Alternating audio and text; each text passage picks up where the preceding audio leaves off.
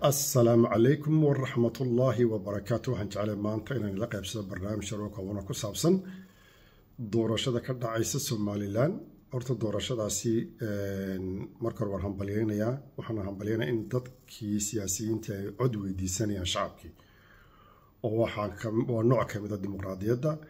Marka aada bay u fiican tahay waana hambalyeynayaa inay ilaa hadda weliba waxba si nabada u socdaan. Nimankii markaa siyaasiyiintiina ay dadkii shacabkii codka weydiisanayaan taas wax lagu farxa weye laakiin taa waxaa garab socotay waxa weeye in siyaasiyiintii ay isticmaalayaan wax ka baxsan dimuqraadiyadda oo ah in dadkii loo kala qeybiye beelo ay qabyaaladii ay iska noqotay wax iska caadiya. Waxaana taaba ka sii daran dadkii shacabka ahaa ayaa waxaad arkaysaa inuu qof leeyahay magarasa intaasoo reehebel qof baan hayaa anigu ree hebel baanoo ree hebel anaa ka wakiila kaararkoodii baan hayaa. Taasina waxay noqonaysaa ma garanaysaa yacni wax aada iyo aada uga fog habka wanaagsan ee dadka loo doorto. Waxa weye qof kastoo shaksi isagaa codkiisa iskale kaarkiisa isagaa haysta isagaana mas'uul iska ah cid mateli karta oo dantiisa gaarka iyo wuxuu isagu rabaa u sheegi kartaana ma jirto. Marka waxaad moodaysaa dadkii aqoonta lahaa dadkii ma garanaysaa ahlu cilmiga ahaa inay arrintaasi ka aamuseen ama qaybo ka midii ay ku daba fayleen. Waxaa socda ma garanaysaa qabyaaladda iyo dadkii in la kala in reero loogu baaqo in qoloba meel lagu shiriyo. Waxyaabaha la yaabka arkaysa waxaad arkaysaa ma garanaysaa oday marba meel istaagaya oo marba koox isku sawiraya oo maanta kooxda dadkay waan ka soo kaxiyay maanta xaggan aan keenay. Berrina waxaad ku arkaysaa meel kale. Saan dambana wax laga yaaba inuu meel kale ka sii tago marka taasi waxay ceeb iyo nusqaanba ku tahay dadka dhallinyarada dadka aqoonta leh dadka wax fahmaya. Waayo dadku maanta waxay u baahan yihiin inay midoobaan oo ay raacaan dantooda dantooda.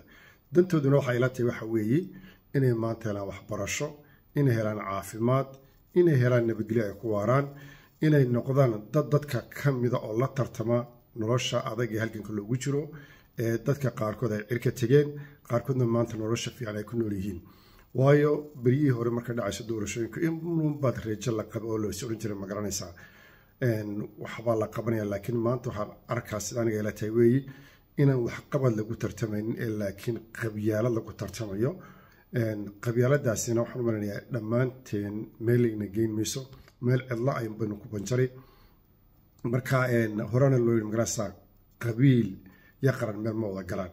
Marka aada iyo aad baan waxaan jeclaan lahaa dadku inay xisaabtamaan oo ay ku xisaabtamaan wixii dantooda ay ku jirta ah ee weliba inay wixii ay isleeyihin magarasa waxaana mustaqbalkeed anfacaya waayo qofaad ku raacday ma garanaysaa qabiil ood ugu codaysay hadhowna waxa laga yaabaa sidaynu dokole soo baranay meel ku gaadhsiin maayo. Codka aad bixisayna hadduu qofkaasi dhibaato geysta ama maanta la yimaado waxaan macquul ahayn.